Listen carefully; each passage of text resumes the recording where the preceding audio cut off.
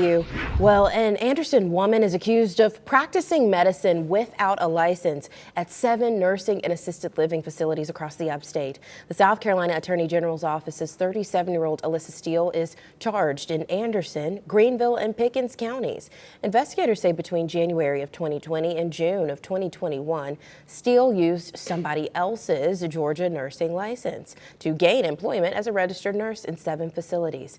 Those are listed on your screen right now. Steele is facing several charges, including seven counts of neglect of a vulnerable adult, as well as financial identity fraud to obtain employment.